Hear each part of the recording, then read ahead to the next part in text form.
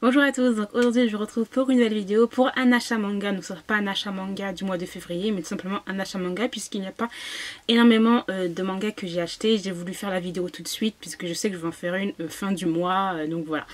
Donc pour commencer j'ai craqué et grâce, grâce ou à cause de Kiliado Japan, donc pour Joker, Joker Jani de Moss et Old Sian, donc voilà, euh, donc c'est un manoir euh, du genre suspense historique, donc c'était une série en cours et il n'y a que deux tomes qui sont sortis en français.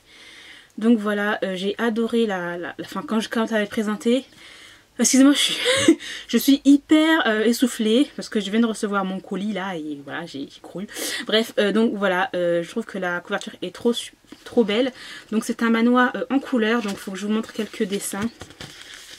Donc voilà, euh, c'est juste hyper joli, hyper beau. J'ai trop hâte de voir ce que ça donne. Donc voilà, regardez-moi, c'est trop beau. D'ailleurs, c'est comme ça. Donc voilà, euh, j'ai vu que la dernière sortie c'était en 2015, donc on est en 2017, je ne sais pas s'il y aura une suite ou pas, dans tous les cas, on a déjà deux tomes en français, donc voilà. Ensuite, j'ai craqué euh, pour une nouvelle série manga, donc c'est Monhole de Tetsuya Tsu Tsutsui. Donc chez Kiun, euh, donc c'est un seinen du style suspense policier. Donc c'est une série qui se termine en trois tomes.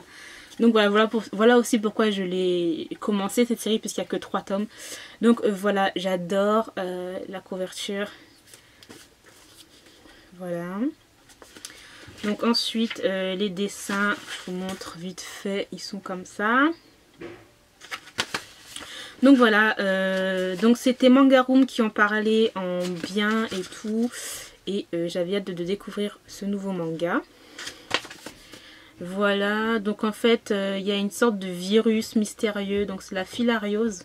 C'est ça la filariose, donc on ne sait pas ce que c'est. Et on a des monstres... bref, une épidémie de monstres, etc. Donc voilà. un seinen assez violent et que j'ai hâte de découvrir donc voilà. Ensuite euh, j'ai craqué donc ça c'était grâce à hum, la vidéo euh, Mangatech de je ne sais plus c'est quoi encore lecture d'une fraise un truc dans le genre je ne sais plus trop excusez-moi. Donc euh, c'est The Gentleman's Alliance Cross donc c'est de Arina Tenemura chez Kana donc voilà donc c'est un shoujo romance tranche de vie c'est une série qui est terminée en 11 tomes et euh, en fait j'aime beaucoup euh, cette mangaka euh, tout simplement à cause des, des dessins. Ça fait très shoujo mais moi j'adore absolument en fait. Voilà. Je montre quelques petites... Voilà voilà. Donc j'ai très hâte de voir ce que ça donne. J'ai craqué pour un autre manga, donc Arc Romancer, le tome 1 de Lilda Young et de Kim Sui. Donc c'est un manga coréen ça. Donc voilà, donc c'est un seinen euh, du style aventure fantastique et c'est une série qui se termine en 3 tomes. Donc voilà aussi pourquoi je l'ai pris. Je commence des séries mais elles sont pas trop longues. Donc voilà, à l'intérieur c'est comme ça, page couleur. Et après le dessin en gros c'est comme ça. Donc ça va, c'est plutôt sympathique. Et ensuite pour terminer en manga, donc euh, j'ai craqué pour Akuma To Love Song le tome 1 chez Kana. Donc c'est un shoujo du style euh, comédie romance. Voilà, et qui se termine en 13 tomes. Donc j'adore la couverture, trop jolie. Derrière c'est comme ça.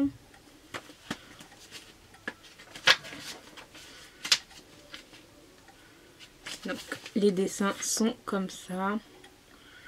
Ça a l'air vraiment pas mal. Euh, je crois que c'est histoire de musique et tout, bref, un truc dans le genre. Donc franchement, ça me donne trop envie euh, de découvrir tout ça. Voilà. Donc voilà, j'en ai terminé euh, pour les mangas que j'ai achetés. Il n'y en a pas beaucoup, hein, comme je l'avais dit dans le, dans le achat manga de janvier, que je ne craquerai pas beaucoup. Donc sinon, pour les goodies, nous avons, je vais craquer en fait pour une tasse que j'ai commandée en fait sur le site Tamtoki, Tamtoki, je sais plus c'est quoi, Tam, Tamoki, je sais plus comment ça se dit, bref je vous mettrai euh, le nom là à côté. Donc voilà une petite tasse melong melong, Voilà, qui est trop cute, j'adore, elle est trop jolie. Et ensuite derrière c'est comme ça. Donc voilà, c'est une tasse hyper hyper cute. C'est une tasse que je n'utilise pas hein, pour l'instant. je n'utilise pas pour l'instant, juste en décoration. Donc voilà. Ensuite, euh, j'ai reçu direct du Japon d'une amie, donc ça c'est cool. Donc elle me l'a envoyé et comment vous dire que j'étais hyper contente? Ça fait des mois et des mois que je l'ai, mais j'ai oublié de le présenter sur euh, ma chaîne. Donc ce sont des tasses Sailor Moon, comme vous pouvez le voir. Enfin Sailor Moon, c'est plus les chats là.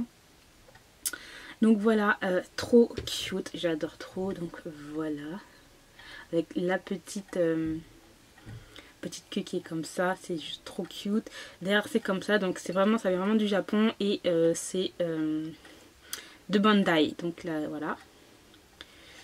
Et euh, l'autre qui est comme ça, donc c'est vraiment des toutes petites tasses. Hein. Voilà.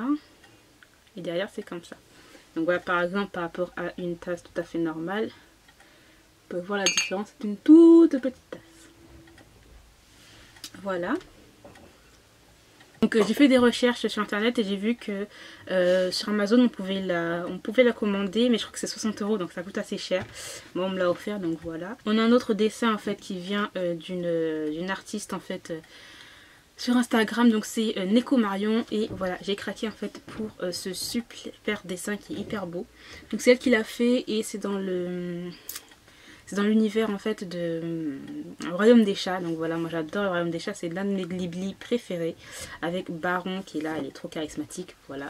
Donc voilà, c'est un, très très beau travail. Euh, je compte m'acheter euh, beaucoup de ses œuvres en fait. Donc voilà. En plus, vous pouvez retrouver beaucoup d'univers Ghibli, Pokémon aussi, Sailor Moon, beaucoup de choses qui sont trop trop jolies. Donc voilà. Et ensuite, pour terminer, j'ai euh, acheté en fait la partie 2 de la saison 1 de Seraph of the parce que je l'avais eu à Noël le, la première partie. Donc voilà, je vais l'ouvrir avec vous tout simplement. Euh, la première partie de Seraph of the franchement j'avais beaucoup beaucoup aimé. Bon je trouve que quand même ça coûte un peu cher parce que c'est, je crois que je l'ai payé 39 euros. Le premier je l'avais, on me l'avait offert donc c'est pas un problème mais euh, ça coûte un peu cher. Mais quand même j'aime beaucoup ce, cet animé. Donc voilà c'est comme ça comme ça. Donc comme je l'avais dit euh, dans l'autre, euh, dans la vidéo là, euh, si je pense que si on rassemble les deux coffrets, attendez je vais vous montrer le premier coffret, enfin la première partie qui est là, qui est comme ça. Donc voilà, ça nous fait comme ça. Ensuite derrière c'est comme ça, je sais pas si je vous l'ai déjà montré mais voilà. À l'intérieur, voyons ce qu'il y a. Euh, alors. Donc là, c'est les, le, il y a deux DVD dedans, simplement. C'est comme ça. Alors, c'est comme ça. Ensuite, je vois qu'on a plusieurs choses intéressantes. Donc, on a un deuxième, un autre poster. Donc, que j'en ai deux posters en fait de Sarah C'est pas les mêmes. Franchement, je trouve qu'il est plutôt badass. J'aime beaucoup. Donc voilà.